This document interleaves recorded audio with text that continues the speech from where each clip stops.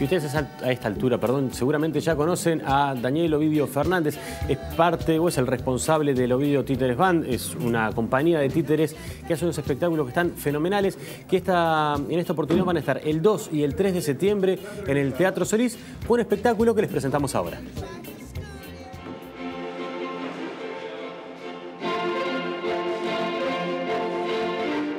Las Cuatro Estaciones es un proyecto mm, largo en mí, por lo menos hace años que vengo pensando en hacerlo.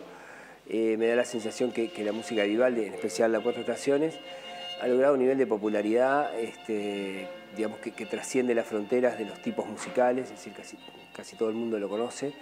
Y, bueno, me parecía que era un buen, un buen, digamos, como un buen edificio, como un buen, buen sostén para jugar estéticamente con distintas técnicas de títeres que nos permiten como, mucha libertad. ¿ah? Eh, por lo menos la, estrategia que hemos tomado es que si, experimentáramos o investigáramos o digamos, tomáramos riesgo tanto en el contenido como en la forma, podemos perder cierto contacto con el público. Entonces, en general lo que hacemos es buscamos estructuras sólidas, lo hicimos con Juan Moreira, lo hicimos con Romeo y Julieta, que sabemos que el público eh, de alguna manera conoce la historia o está conectado con la historia y lo que nosotros tratamos de hacer es darle una, reformulación, una nueva forma de verlo, una nueva forma de, presentarlo. Y en este caso elegimos la posibilidad de trabajar para todo público eh, y de, alguna manera sintetizamos nuestras dos experiencias que han sido la mayor, que ha sido todos estos años, casi 10 años, de trabajo para adultos, que ha sido realmente muy esforzado, muy complejo, pero muy gratificante a la vez. Este, tuvimos que formarlo un poco como el público no estaba tan acostumbrado. Y después algunas experiencias positivas que hemos tenido en espectáculos infantiles.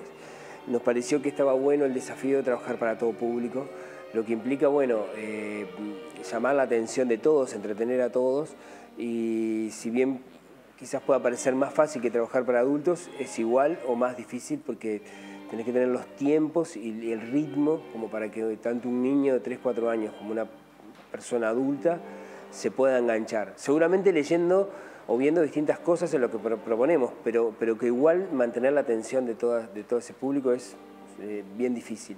Y eso nos va a permitir movernos, este, poder viajar más, poder este, tener, tener más cantidad de funciones. La música en vivo es un, son ocho músicos, una orquesta de cámara. Eh, y el espectáculo es similar a los demás, donde nosotros como titiriteros no usamos un retablo ni algo donde escondernos, sino que usamos todo el espacio, eh, todo el espacio escénico. Digamos que la Ovidio se define como, como, una, como una compañía que experimenta y produce espectáculos teatrales de títeres. ¿sí? Eh, esto significa que, que, no, digamos, que el espacio escénico nos es afín, es decir, lo, lo usamos todo y de todas las formas posibles. Y el espectáculo básicamente es como un musical.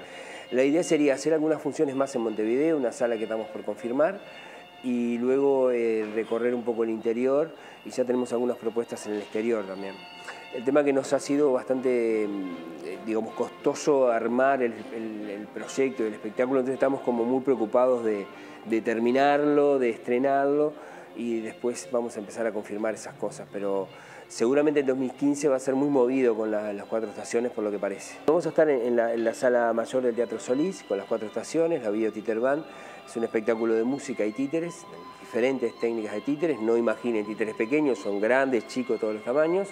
Vamos a estar el 2 y 3 de septiembre a las 21 horas y bueno, las localidades están en venta. Eh, es para todo público, quiere decir que pueden ir adultos, niños, este, los que tengan ganas de ir. Y, bueno, pues simplemente los esperamos, que creemos que va a ser una experiencia diferente, que no sabemos si hay este, antecedentes de este tipo de trabajo con títeres.